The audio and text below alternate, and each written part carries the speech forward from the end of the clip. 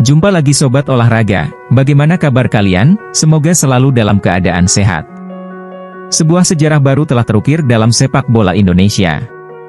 Timnas Indonesia U19 berhasil merengkuh gelar juara Piala AFF U19 2024 setelah mengalahkan rival berat, Thailand, dengan skor tipis 1-0 di partai puncak.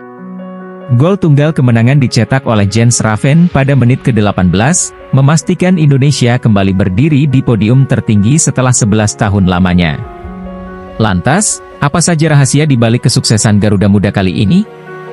Mari kita bongkar satu persatu fakta menarik di balik keberhasilan Timnas Indonesia U19. 1. Indra Syafri, Juru Taktik Andal Sosok Indra Syafri kembali membuktikan kualitasnya sebagai pelatih sepak bola muda yang mumpuni. Ia berhasil membawa Indonesia meraih gelar juara Piala AFF U19 untuk kedua kalinya, setelah sebelumnya juga sukses pada tahun 2013. Keberhasilan ini semakin mengukuhkan nama Indra Syafri sebagai salah satu pelatih terbaik di Asia Tenggara. 2. Pertahanan kokoh, serangan mematikan. Timnas Indonesia U19 tampil sangat solid sepanjang turnamen. Selain mampu mencetak 16 gol dari 5 pertandingan, lini belakang Garuda Muda juga tampil sangat disiplin dengan hanya kebobolan 2 gol. Catatan clean sheet sebanyak 4 kali, termasuk di babak semifinal dan final, menunjukkan betapa kokohnya pertahanan Indonesia. 3. Bintang muda bersinar Turnamen ini menjadi panggung bagi sejumlah pemain muda berbakat Indonesia untuk menunjukkan taringnya. Jens Raven, sebagai top skor tim dengan 4 gol, menjadi bintang yang paling bersinar. Selain itu, Doni Tri Pamungkas terpilih sebagai pemain terbaik, sementara Ikram Al-Ghifari dinobatkan sebagai kiper terbaik.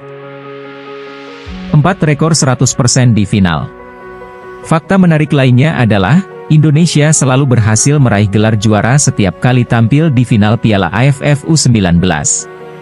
Dari dua kali tampil di partai puncak, Garuda Muda selalu keluar sebagai pemenang. Ini menunjukkan mental juara yang kuat dari para pemain muda Indonesia.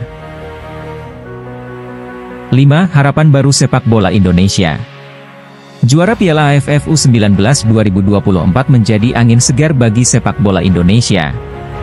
Prestasi ini diharapkan dapat menjadi motivasi bagi para pemain muda lainnya untuk terus berlatih dan berprestasi. Selain itu, keberhasilan ini juga membuktikan bahwa sepak bola Indonesia memiliki potensi yang sangat besar untuk bersaing di level internasional.